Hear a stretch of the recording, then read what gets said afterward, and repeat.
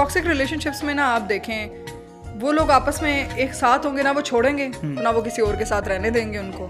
ना वो शादी करते हैं ना वो छोड़ते हैं। मतलब ये अजीब मैंने तो अजीब ही देखी है मुझे समझ नहीं आती इन सब की कि भाई आप चाह क्या रहे हो एक बंदे से। एक औरत है वो लड़की है वो एक रिलेशनशिप में आपको पता है आपका बंदा अब्यूज़ करता है आपको पता है आपका बंदा आप पे चीट करे आपको पता है कि उसने आपसे शादी नहीं करनी। Why are you like you know क्यों आप उसके साथ हैं इतना?